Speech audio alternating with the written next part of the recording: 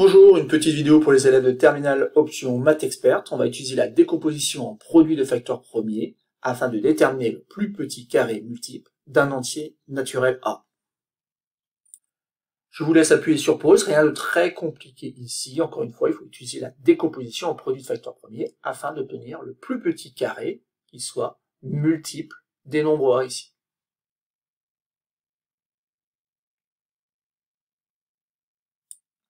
Donc passons à la correction de cet exercice. Donc dans un premier temps, 68, on peut l'écrire comme étant 4, autrement dit 2 à la puissance 2, multiplié bah, par combien? Bah, Par 17. Autrement dit, ici, on obtient très rapidement une décomposition en produit de facteurs premiers pour le nombre 68. Et ce qui nous intéresse, c'est de trouver donc un entier qui soit un carré et qui soit multiple de 68.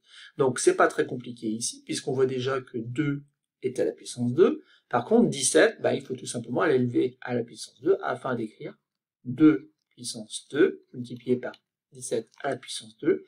Et forcément ici, on a un nombre qui s'écrit comme étant le carré de 34. Or, le carré de 34, la calculatrice nous dit que c'est tout simplement le nombre 1156. C'est gagné. On a obtenu donc un carré qui était multiple du nombre A, puisqu'en fait ici c'est 68 multiplié par 17.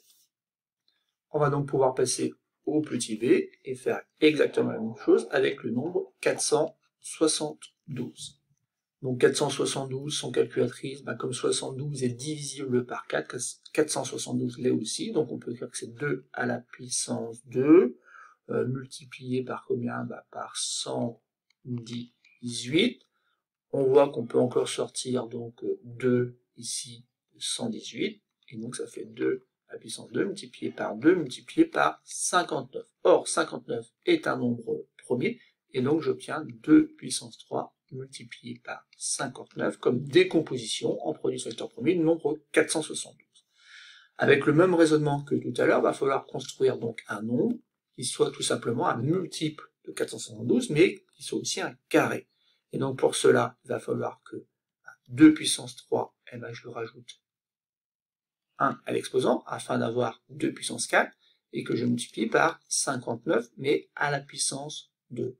Et ainsi, donc, par construction, j'ai 2 au carré multiplié par 59, le tout au carré, donc j'ai le carré parfait de 4 multiplié par 59, ce qui donne 236 au carré, et la calculatrice nous dit que c'est le nombre 55 696.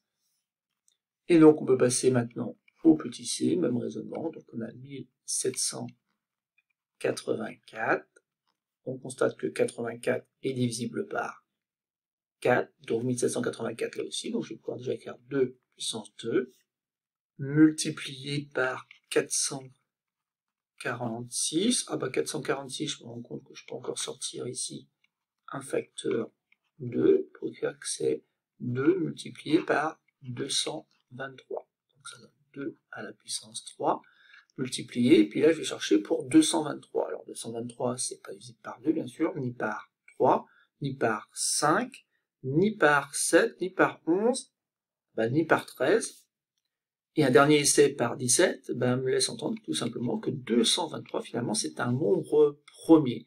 Et donc j'ai bien une décomposition en produit de facteur premier du nombre 1784.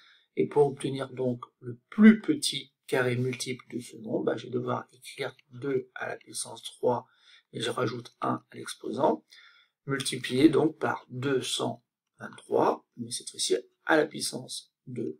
Donc ça va faire tout simplement ici donc 2 puissance 2 multiplié par 223, le tout au carré.